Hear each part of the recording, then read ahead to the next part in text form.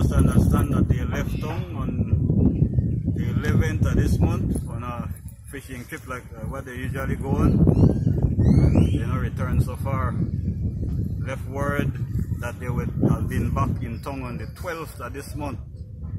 Now that's last week Saturday. That, that, that's about what I heard, no? About what I understand from it. Where, where would they usually go to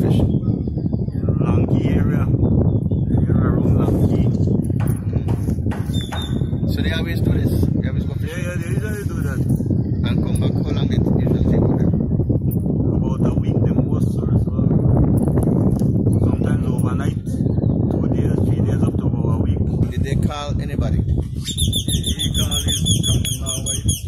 The, the person he lives with, he called her on the 12th. Said that they were coming back home on that day. More or less what time was that? So I don't know, I'm not sure what time. He didn't tell me what time they called her. But they were leaving where? From where? They were leaving from Long Caye. Yeah.